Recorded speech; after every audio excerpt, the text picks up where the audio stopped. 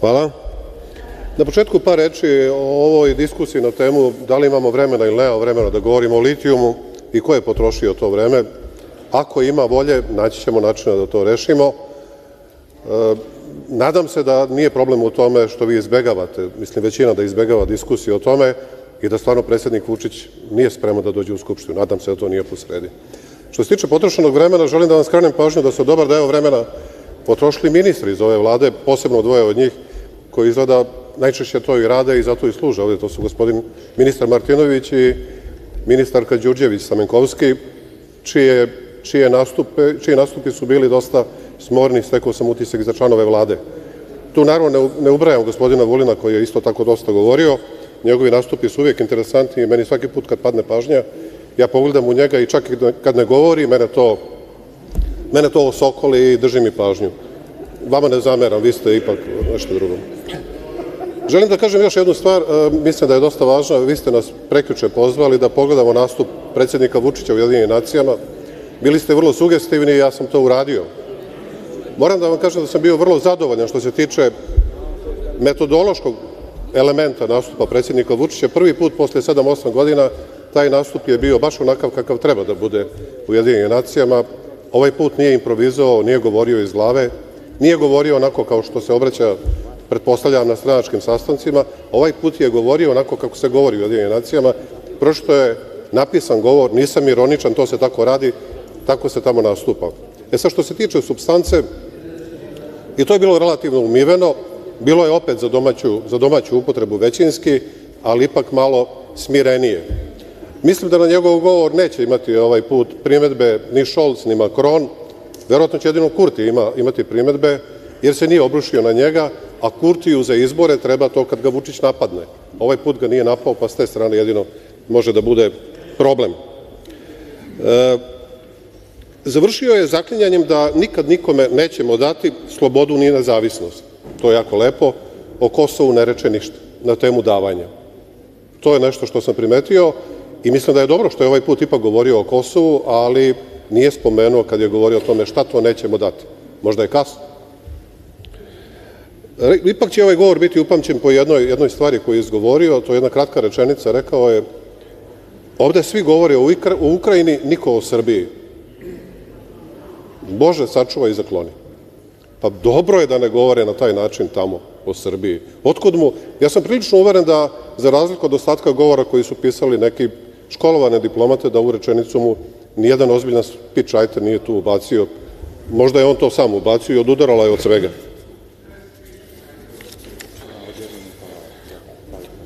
U tom nastupu bio je onaj obavezan deo koji, koji, koji se izgovara na izborima za mis, to je o miru o svet, u svetu i ljubavi prema svojoj domovini, to je okej, okay, ne zameram, to se tako isto radi, nekome stoji bolje, nekome lošije, ali za vreme dok je on bio tamo u nacijama i govorio, ovde u Srbiji, u Beogradu, bio je sin gospodina Trumpa. Jedna od tema verovatno je bio generalštab. Ne znam da li ste primetili, ali izgleda da je rušenje počelo iz Resavske, da niko ne vidi. Čudno da gospodin Vučić nije bio na otvaranju radova, da predsednik države je bio, nije bio na početku rušenja srpskog generalštaba. On je uvek na početku svih radova. Šta je sad propustio?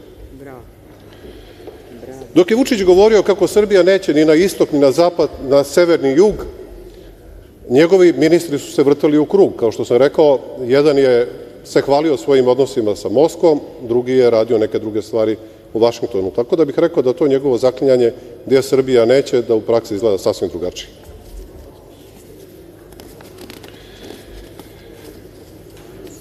Par stvari na temu, na temu e, zašto mi uopšte imamo rebalans budžeta. Rebalans budžeta se radi onda kad stvari nisu izbalansirane. Budžet bi trebao da bude balansiran, koliko ja to razumem, da su prihodi i rashodi u nekom, nekom srazmeru.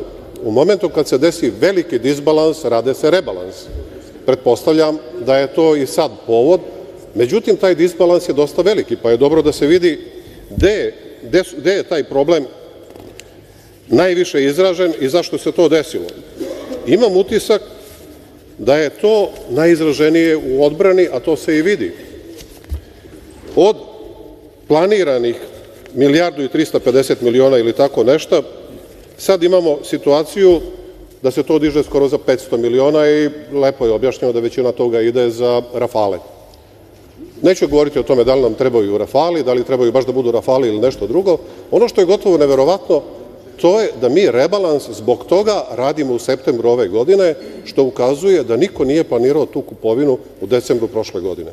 Kupovinu od 2,7 milijardi, kupovinu robe, nazovimo to tako, koja se kupuje jednom u 30 godina, 20, 30. Mi smo mnogo davno kupovali avione kao zemlja.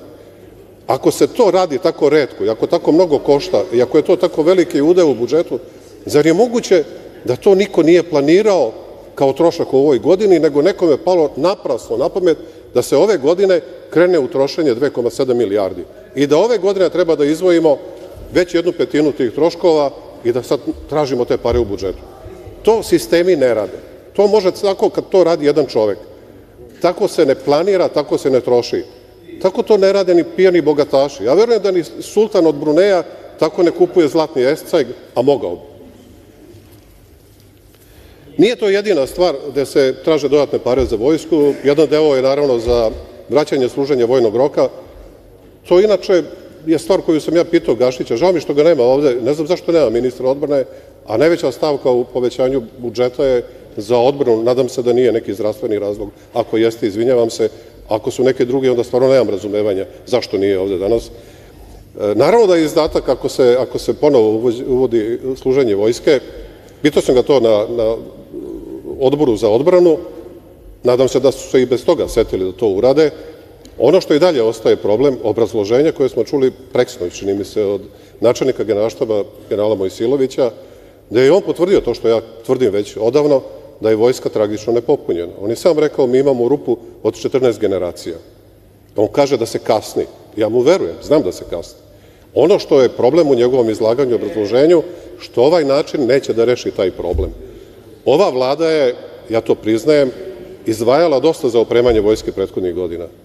To u vojsku nije učinilo efikasnijim. Ne može to da se reši samo opremom. Ljudi nedostaju. Na ovaj način to neće da se reši. Na ovaj način sa 75 dana imaćete ljude koji neće biti u stanju ni da rade mirnodopski deo vojničkog posla, a kamoli ratni. To što nekoga naučite da se brije redovno, da namesti krevet ili što rečemo Mojsilović da koristi šatorsko krilo, to nije u redu. Najgore je što ćete ih sutra držati u evidenciji kao rezervni sastav, kao ratnu vojsku, a da, ne daj Bože, bude rata, oni bi mogli da budu upućeni u rat na isti način na koji je poslata omladina 45. da gine na Sremskom frontu. Imajte to u vidu, to se ne radi tako. U sve to, e, tragičan dokaz da to ne valja, da to ne ide tako, i ovo što se desilo pre neki dan sa ovom tragedijom. Ne želim da to bude nešto što će neko primetiti kao zloupotrebu, ali ako imate čoveka od 54 godine i na takvim ljudima stoji, stoji vojska, civili, zastavnici, oni sad voze borbene sisteme i upravljaju njima. To nije operativno potrebljiva vojska. Na ovaj način taj problem neće da se reši. Opet će ova deca sa 75 dana biti sposobni samo da se briju redovno i da ispale tri metka. Oni neće moći da zamene te ljude koji su u šestoj deceniji. Taj problem se tako ne rešava. Da idemo na sledeću temu, ova je sama po sebi problematična. Jedna od stavki u ovom budžetu koja se pominje, a imamo i ovim, još dva zakona o kojima razgovaramo, to je energetika. Pretpostavljam da smo primetili da je gospodin Đurić pre neki dan potpisao sa podsekretarom State Departmenta sporazum o strateškom strateškoj saradnji sa Sjedinjenim državama. To zvuči dosta impresivno.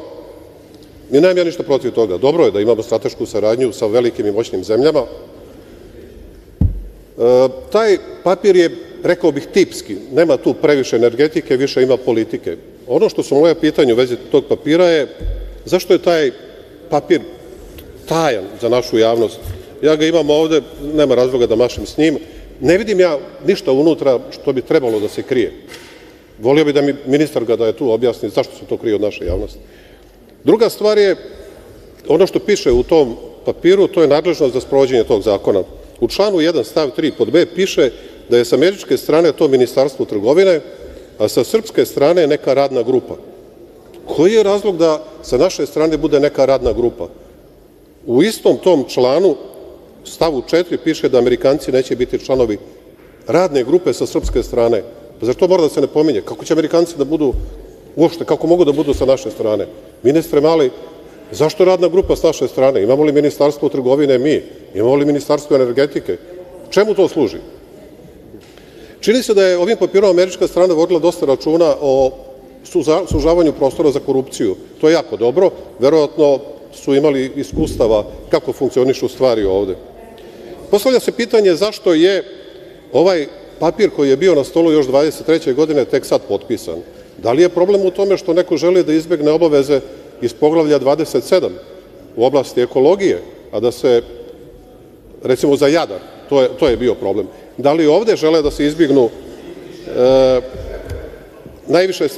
najviše, standardi koje ćemo imati iz, ako budemo potpisivali neka poglavlja umeđu vremenu. Ovde se ministarka e, Đedovice hvalila kako je ovo e, papir iz oblasti, u stvari sporazum, nedavno potpisan sporazum sa solarnu energiju sa jednom firmom za koju je rekla, u stvari to je posao koji se radi sa jednom južnokorejskom firmom i jednom američkom firmom. Ta južnokorejska firma je Hyundai, ona je to pomenula, pomenula je američku firmu, rekla je da je to UGT Renewables i to je u redu. Ono što je zanimljivo, što ta korejska firma isporučuje tehnologiju, nije jasno šta isporučuje američka firma. Pretpostavljam kontakte na srpskoj strani i i bankarske garancije. Sve bi to bilo u redu. Ne znam zašto je krila da iza te firme američke stoje Srbi. Vrlo uspešni Srbi. Šta je tu problem? Zar je problem što je gospodin Rajšić iza te firme koji je prijatelj još iz zemunskih dana Željka Mitrovića? Pa za prijatelj Željka Mitrovića nije ni Aleksandar Vučić, pa to nije problem. Šta se tu krije? Ako je sve u redu. Pa reči o izdvajanju za Kosovu treba, naravno, sve u redu. E,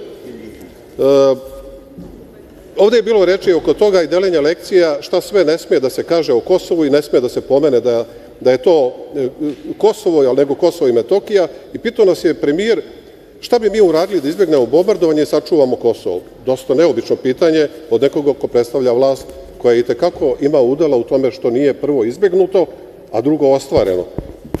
Bilo bi bolje pitanje Šta su bili ratni ciljevi na Kosovu ljudi koji su sad ovde u ovoj vlasti, jer i tada su bili, i da li su ih ostvarili? Drugo pitanje koje bi trebali da postavite sebi, šta su bili vaši pregovarački ciljevi od 2012. do danas i da li ste ih ostvarili? Rekao bi ni jedno ni drugo. Ni jedno ni drugo kako treba. Izgubili ste u miru ono što niste uspeli da izgubite u ratu 99. godine. S druge strane,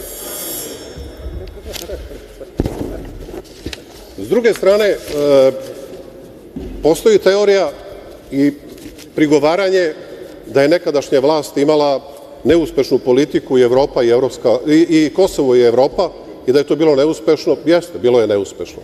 Ono što je porazno što ova vlast ima politiku ni Kosovo ni Evropa i da ste u tome uspešni. Ja se s tim ne bih hvalio da, da sam na vašem mestu.